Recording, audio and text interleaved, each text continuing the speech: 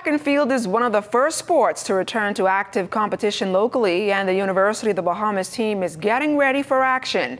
In the wake of new protocols for activities, the team has been working out in the mornings and afternoons. Head coach Ednol Rolle keeps the group small and is working on getting the team in shape.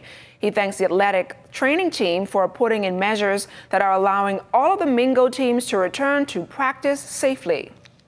Thanks to Sasha and the athletic trainers, uh, we're able to put in some things into place to, you know, help us to be able to train safely, uh, social distancing, and you know, following the, the protocols. Uh, but for the most part, I think it kind of worked in our favor where we're able to to train in a smaller group now, um, where the athletes were able to now get that one-on-one, -on -one. and I think it kind of benefited. So you know, it made me now see now, it's good that I could now adjust the um, the amount of a person treating at one time.